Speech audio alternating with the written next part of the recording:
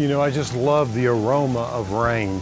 There's nothing like a rain after a long dry period. It's a life force that brings, well, the lawns back to life. My big trees respond within a day. And the animals, well, they just seem happier and healthier. But you know, when it rains, we have to stay inside, which isn't such a bad thing. And while that means you may be spending a little more time inside, there's no reason why you shouldn't enjoy a rainy day. So what I thought we'd check into today are just some fun ways to explore what one can do on a rainy day. Let's get started.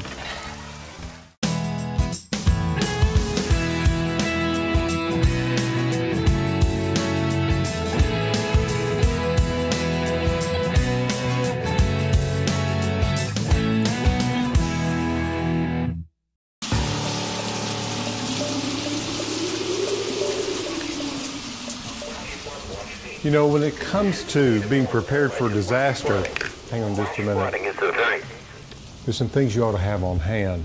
And it really doesn't take a lot of time to do this.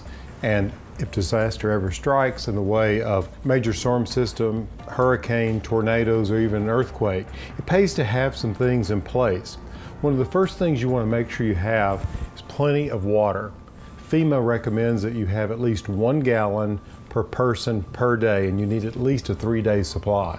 Then, when it comes to food, think of canned goods and think of canned goods that don't require any kind of heating because you never know, you may not have electricity or a source of power to heat the food. And also choose things that are high in protein. You know, these with the pool lids are nice, uh, but if they don't have a pool lid, make sure you have a can opener, otherwise, it's gonna be tough to get in there. You want to make sure you have a source of light in the way of candles, plenty of candles, and ways to light the candles. Matches are great, but if it's really wet, you need some other device that'll make sure you get a flame. And of course, you don't want to be without flashlights or batteries. And then you need to think about communication. Hey, what if you don't have cell phone service? What about walkie-talkies? They're pretty inexpensive actually. It's a great way to communicate. Just make sure you have batteries. And the other thing is you get a national weather report with these, which can be very helpful. It's very handy to have a radio. Just make sure you have plenty of batteries to go along with them. And then of course there's hygiene. You're gonna want some toiletries, some soap, and then when it comes to medical, you need a first aid kit and always have some peroxide keep a first aid kit packed away. And I tell you what I like to do is have one of these plastic containers where you can put a plastic top on it, you can seal it away, and it's completely waterproof. These are some pretty basic things that you'll need. They'll put you in good stead. Coming up, plants you can enjoy indoors, a rainy day design tip from designer Toby Fairley, and a structure that maximizes the benefits that rain provides.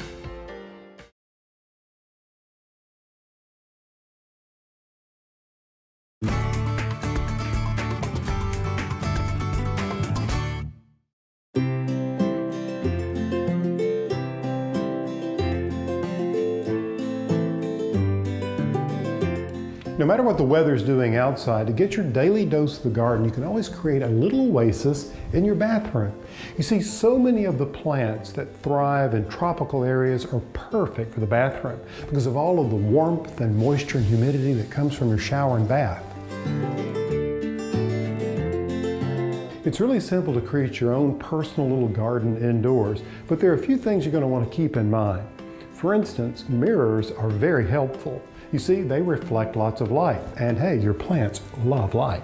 And the way I look at it, the more light you have, the more plants you can have, and that's a good thing. You'll also want to turn your plants regularly to avoid uneven growth. And you don't want to overwater. Too much love can kill them. You see the room's high humidity will help keep your plants damp. Oh yeah, and this is an important one. I don't recommend using any glass containers where bare feet are at risk. So go for containers that are made of, of plastic or a resin or some sort of composite, even wood or metal.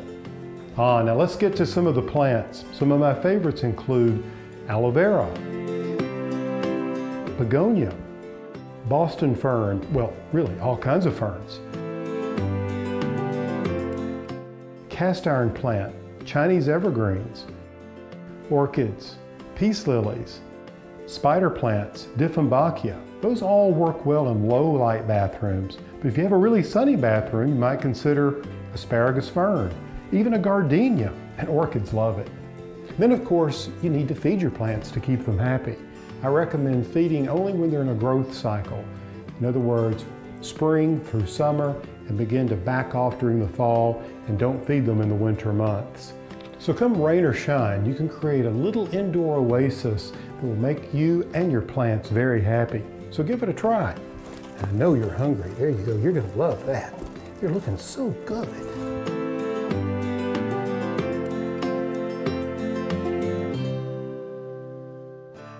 Another easy way to keep your plants well hydrated is by creating a microclimate.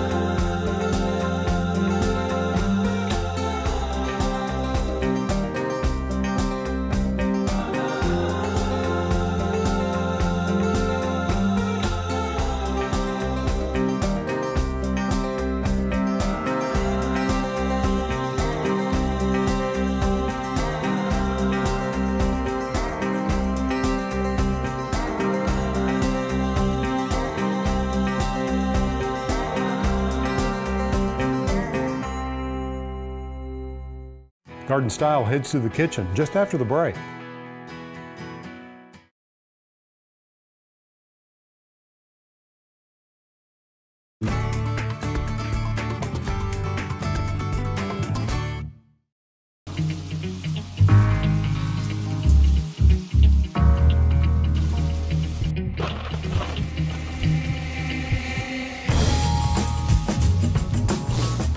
It's all drizzly outside, there's nothing I enjoy more than a nice warm bowl of soup. Chef John Mooney shares his recipe for asparagus and pistachio soup. Now that's something that will take any rainy day experience to an upper level. It's one of my favorites.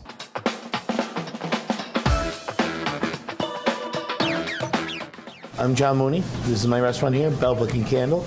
On my rooftop, I have a hydroponic garden, which means it requires no soil. The menu revolves around what's what's available uh, on the roof. Good asparagus soup comes from good asparagus. The process is very simple. We do use our blender to get texture, but there's nothing added to it other than pistachios, shallots, and asparagus.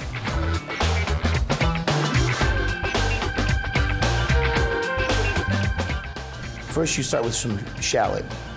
Shallot's a, a mild onion. Uh, use about four shallots. I try to uniformly slice these. What I'm gonna do is take some pistachio oil. We're gonna sweat these. So sweating means I'm gonna cook them gently without adding any color. So there's pistachio oil there. I use about an ounce of oil. And I could use less oil, but I love the flavor of it. I think it contributes to the dish.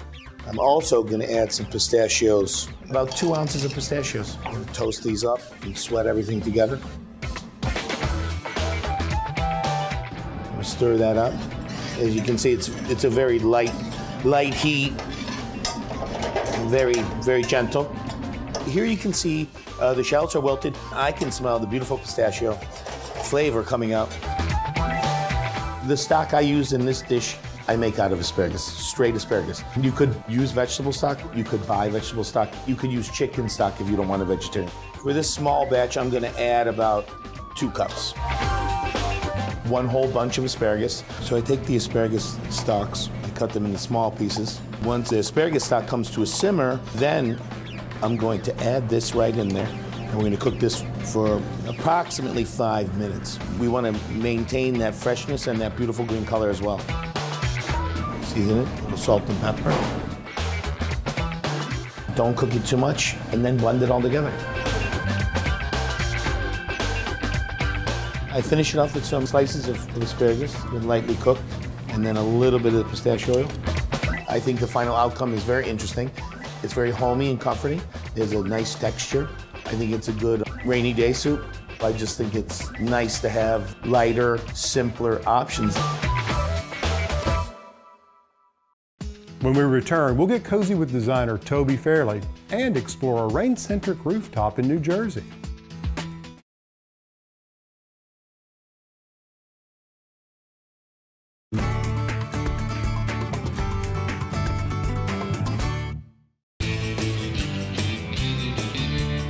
You know, organizing a closet is one of those things that I don't know about you, but I never seem to find the time to get around to do.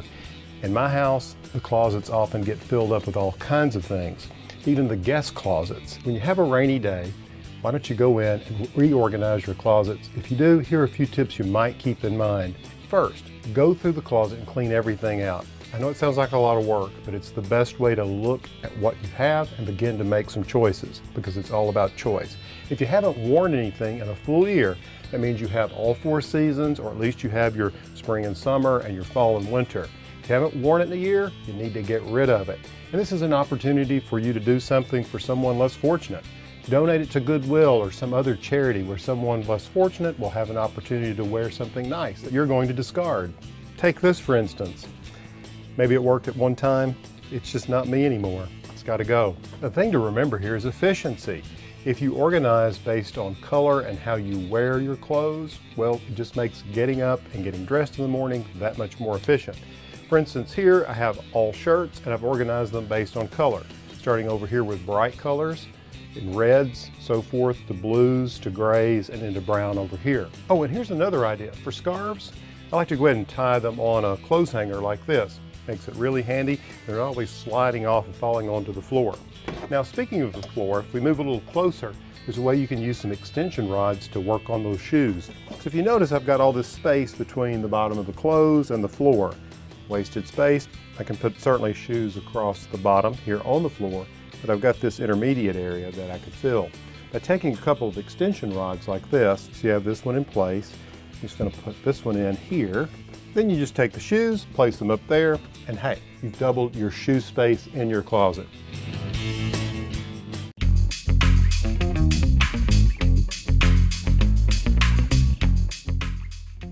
Rainy day, my favorite thing to do is cozy up and read my favorite design books. And whether you're on a daybed like this one, in your own bed, or any nook around your house, the key to comfort is all about layering. The key to layering and comfort on your bed is the blanket. And a cotton blanket's great for any time of year. I love to layer that over a quilt so you have options for warmth. And the pillow is the most luxurious part of the bed. I love to layer my pillows. So a great lumbar pillow for back support, a bolster is perfect for resting to read those books or prop under your knees. And then of course, the perfect sleeping pillow, soft enough for a little nap. And the great thing about this pillow is it has a pop of color to brighten up your rainy day. So try these layering tips to design outside your comfort zone.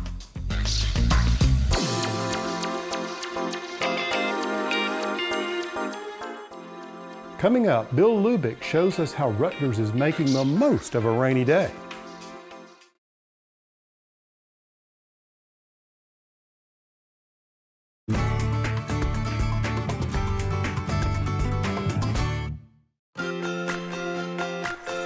Over at Rutgers Earth Center, they're teaching the next generation about getting the most from one of our most important natural resources. It's important for children and adults to both know how to conserve water.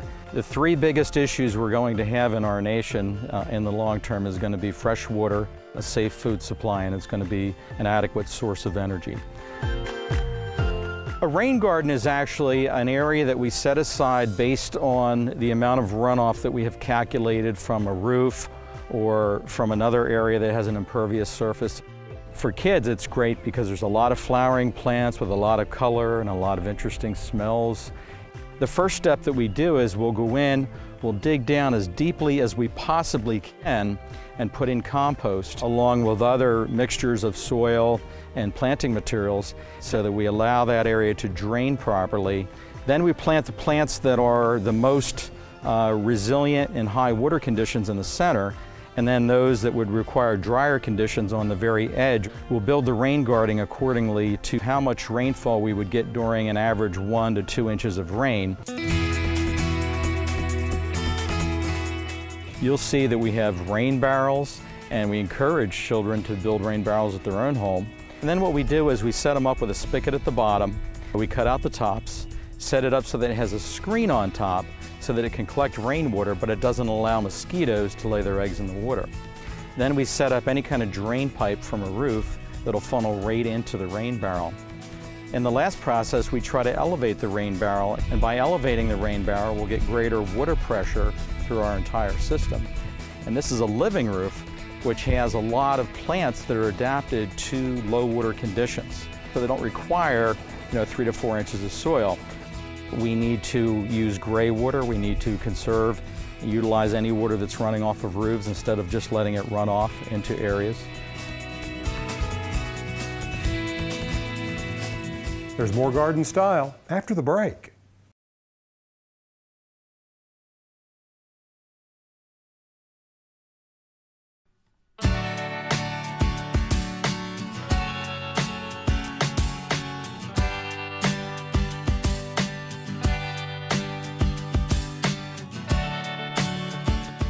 When the weather's like this, I'm heartened by a quote from Longfellow. He said, After all, the best thing one can do when it's raining is to let it rain. Makes sense to me. Hope in today's show you've picked up some ideas that you can use during those rainy seasons.